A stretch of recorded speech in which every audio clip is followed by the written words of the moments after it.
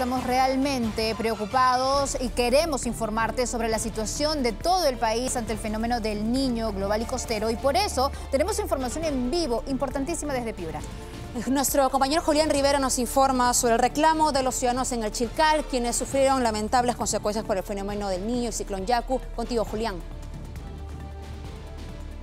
Alicia, Fátima, ¿qué tal? ¿Cómo están? Buenos días. Y tal como lo comentas, en el mes de diciembre las fuertes lluvias azotaron por completo la región Piura y la urbanización El Chilcal, una urbanización con más de 40 años, como lo muestran las imágenes, se inundó por completo. Los vecinos sostenían y nosotros también fuimos testigos cómo el agua ingresó hasta su vivienda y a muchos de ellos el agua le llegaba hasta la rodilla. Hoy, Nueve meses después, la autoridad no ha hecho nada con ellos. ¿Y qué es lo que piden? La rápida intervención, porque se ha pronosticado lluvias para fin de año. Y lo que dicen ellos, que esta obra a cargo del Ministerio de Vivienda no se ha visto eh, realizada. Y lo peor que dicen ellos es que si llueve, ellos volverían a inundarse.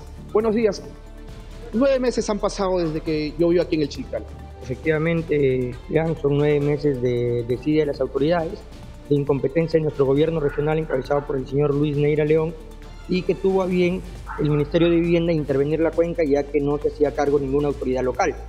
Eh, dentro de esa intervención de vivienda se ha logrado un contrato que se ha establecido con el consorcio LUAT por 2.265.000 soles aproximadamente, e incluye la construcción de la caseta para el grupo electrógeno, incluye la limpieza de la cuba, incluye la instalación de cuatro electrobombas.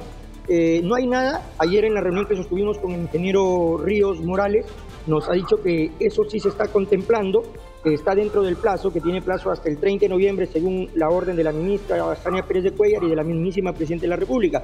Eh, eso nos alivia en cierta forma porque hay un contrato establecido. Lo que nosotros estamos preocupados es que las salidas de agua naturales, que es el Dren Chilcal, el Dren Vallejo y el Dren Turquía-Japón, que es donde llega toda nuestra agua, no está tocado en ningún contrato. Entonces el compromiso del ingeniero Ríos ayer es establecer ese contrato, pero ahí viene lo peligroso, que ese contrato nos lo viene ofreciendo desde ya 40 días atrás. Entonces, como le dije ayer en la reunión, ¿cuál es la garantía de su palabra frente a estos hechos?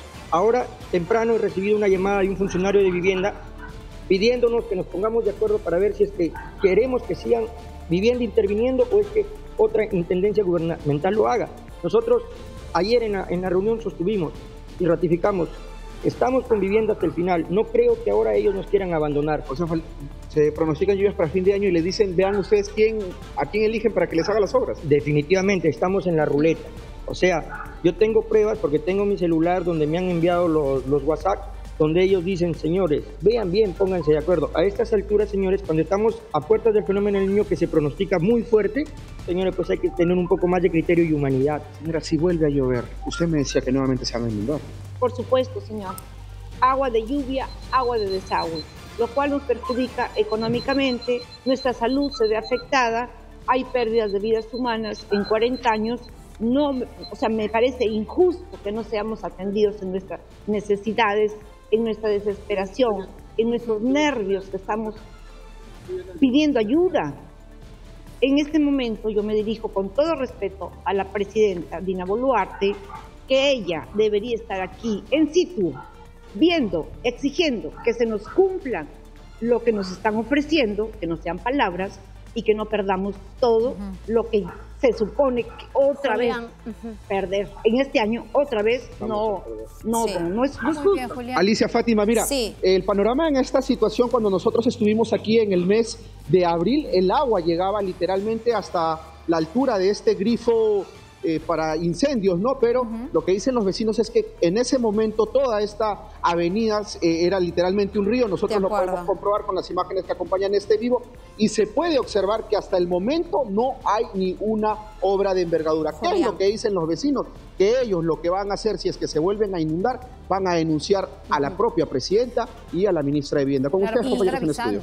Y además, eh, sí, hay que poner en contexto. Estamos hablando de una zona muy cerca también al centro de la ciudad de Piura, ¿verdad, Julián? Apenas 10 minutos y que se ha visto grandemente afectado y que aún esta cercanía ni siquiera está siendo atendido de la forma en la que se han comprometido y corresponde para estos ciudadanos, Julián. Muchísimas gracias, Julián, por la información en vivo. Gracias por todos los detalles de esta situación. Y con esto cerramos Alerta Niño. Hola, no olvides suscribirte al canal de Latino Noticias y compartir nuestro contenido. Tenemos mucho más para ti.